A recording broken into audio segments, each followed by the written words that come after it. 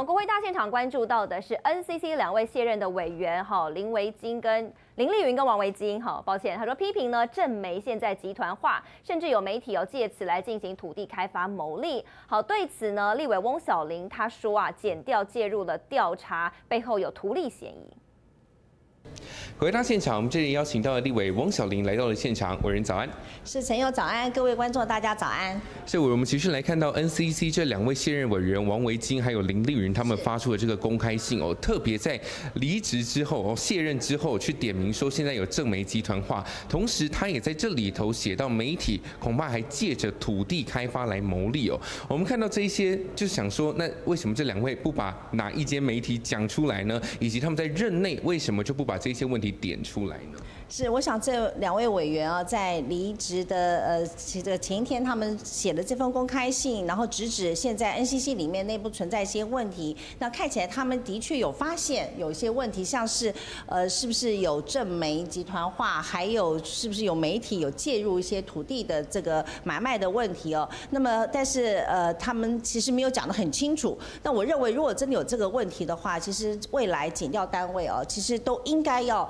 针对就是两。位委员所提出来的这么重要的问题，因为它不仅是影响呃我们台湾的广电媒体的健全的秩序，还有甚至可能还会有图利等等的这些问题，其实检调都应该要启动调查。对，那么呃，我想这两位委员呢，虽然说他们呃过去这四年在 NCC 委员会里面，那么也是跟着这个大家一起做决议，那么在一些案子，纵使他们提出了不同的意见书，但是看起来也是没有办法去改变呃信息里面的这些问题。那么呃，这个它里面大概提到了像是呃还有像换照啊，程序不公开啊，有些资讯不公开的部分。那么呃，其实如果他能够更早的时候就能够提，那甚至在更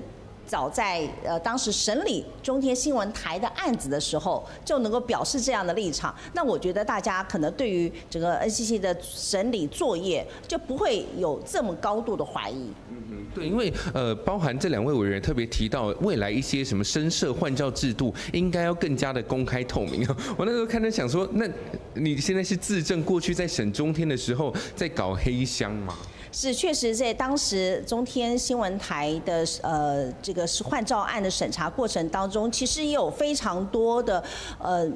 学者啊，专家学者，还有美改团体，那以及呃社会大众，都对于当时审照程序不公开，很多的呃里面的这个审查的标准啊，审查的理由呃为什么也很模糊，没有那么具体，就大家其实都充满了质疑。但是蛮遗憾的，在那个时候，他们没有呃要坚持哈，必须要把很多的资讯要公开。可是却现在离开之后，呃才点出。这个问题，我觉得其实是太晚了啦。嗯嗯，对，所以就是他们是不是也其实是共犯结构之一哦？所以现在会让大家觉得说，为什么你临去秋波才来讲这些？为什么你们过去都不做？现在是有点想要洗白自己了吗？